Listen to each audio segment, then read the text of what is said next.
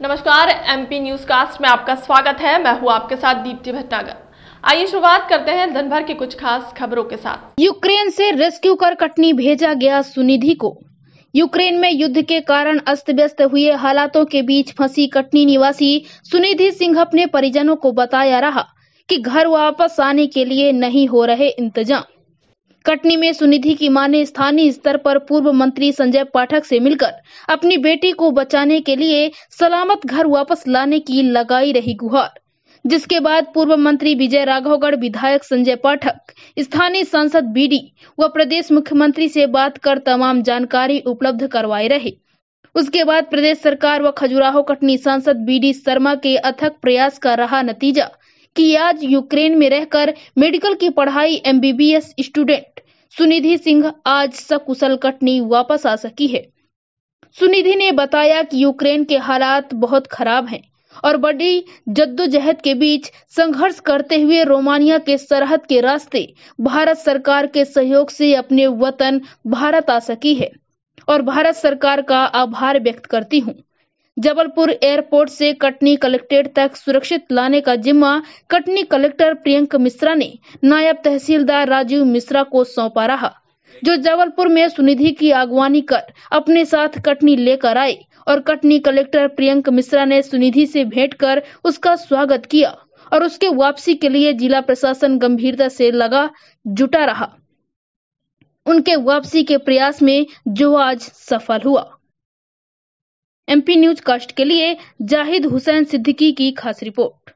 सांसद महोदय श्री शर्मा जी ने की और कलेक्टर साहब के दिशा निर्देशों के अनुसार मैं भी वहाँ गया था और एयरपोर्ट से इनको यहाँ लेकर सुरक्षित घर वापसी आज इनकी हुई क्या नाम सर आपका? क्या पद नाम? मेरा नाम राजीव मिश्रा है मैं नायब तहसीलदार कैसा अनुभव रहा आपका इस जो सा जंग चल रहा है यूक्रेन और रूस के बीच में? अपना अनुभव कैसा रहा आपका? कट इंडिया आने तक का। तक स्टार्टिंग में तो बहुत स्कैरी था। हम पाँच बजे सायरन बज रहा है और उसकी नींद, उसकी आवाज़ से मेरी नींद खुली। और फिर न्यूज़ इंटरनेट वगैरह पे देखा तो पता चला कि वॉर शुरू हो गई है। तब तो बहुत घबराहट का माहौल हो गया था स्टार्टिंग में। फिर सब बच्चे दौड़ दौड़ के जा रहे हैं सामान इकट्ठा करने के लिए। क्योंकि हमें उम्मीद नहीं थी कि इवैक्यूएशन पॉसिबल हो पाएगा ऐसे माहौल में। पर इंडियन गवर्नमेंट ने स्टैंड लिया है और बच्चों को निकाला है वहाँ से। बहुत अप्रिशिएट करने वाली चीज़ है। क्योंकि किसी को उम्मीद नहीं थी कि वैक्यूशन हो जाएगा। हमें लग रहा था कि एटलीस्ट एक दो महीने तो ऐसे ही जाएँगे। हमें वहीं पर बंद होकर रहना पड़ेगा पर ऐसा कुछ नहीं हो पाया। तो उसके बहुत शुक्रगुजार हूँ इंडियन गवर्नमेंट आप किस देश की बॉर्डर में थी? मैं रोमेनिया तो यहाँ तक कैसे पहुँची? रोमेनिया की बॉर्डर क्रॉस करने के बाद हम वहाँ पे एक शेल्टर में रुके थे बॉर्डर में। वो भी इंडियन बच्चों के लिए कैंप लगाया गया था। वहाँ से फिर इंडियन एम्बेसी ने बस अरेंज कराई थी बुकारेस्ट के लिए। वहाँ की जो कैपिटल है कैपिटल में फिर हमें शेल्टर में दो दिन रुकना पड़ा। उसके बाद हमें फ़्लाइट मिली और उससे मैं यहाँ आई थी। यूक्रेन गवर्नमेंट ने आप लोगों को कहा था कि आप लोग इंडिया वापस जाने की तैयारी करें ऐसा कुछ निर्देश दिया था? इंडियन गवर्नमेंट ने दिया था बट इतना अप्रोप्रिएट टाइम नहीं था कि बच्चे मतलब ऑल ओवर सडन आ पाए। इंडिया गवर्नमेंट से किसने संपर्क किया आपसे? कैसे संपर्क किया? दूतावास एम्बेसी गए आप लोग? एम्बेसी के थ्रू एम्बेसी का वहाँ कैसा रिस्पॉन्स रहा आपको? हमने कई बार कांटेक्ट किया वहाँ से बहुत सेटिस्फाइड थी और बहुत पहले हेल्पलाइन के नंबर से वो कंटिन्यूसली बच्चों को हेल्प करने के लिए तैयार रहते हैं और पूरी प्रॉपर इन्फॉर्मेशन देते हैं जो जो आप लोग को कहाँ से साधन मिला? किस जगह से? कितना सफ़र कैसा सफ़र रहा आप लोग? क्या क्या करना पड़ा? पैदल चलना पड़ा? बस करी थी मैं टर्नोपल में रहती हूँ उसके लिए हमने चरनी जाने के लिए बस करी थी तो उसके आठ घंटे थे वो हमारी प्राइवेट बस थी। उसके बाद में वहाँ से हमको आठ किलोमीटर पैदल चलना पड़ा था बॉर्डर तक पहुँचने के लिए। बॉर्डर क्रॉस करने में हमें टोटल तीस घंटे लग गए। आप लोग के साथ कितने लोग थे वहाँ पे? फंसे हुए? जिस मध्य प्रदेश के कितने बच्चे अभी भी वहाँ? हैं?